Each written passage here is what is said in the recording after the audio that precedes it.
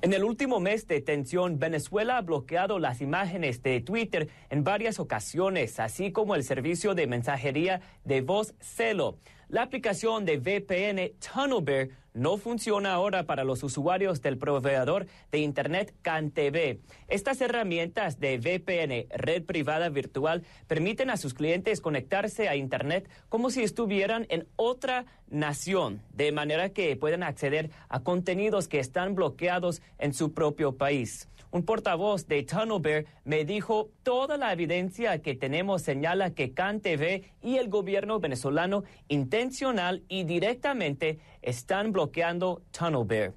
Nos comunicamos con el gobierno venezolano para que emitieran alguna declaración al respecto, pero todavía no hemos obtenido una respuesta. Sin embargo, en la entrevista que le dio a mi colega Cristiana Monpour, el presidente Maduro negó la semana pasada que su gobierno tuviera algo que ver con esta situación.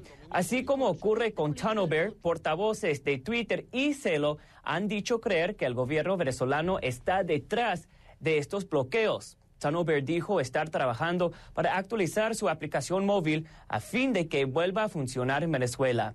Hasta el momento, otras aplicaciones VPN siguen funcionando como Hotspot Shield, Onavo Protect y VPN Express. Los enlaces están en mi cuenta de Twitter, arroba Samuel CNN.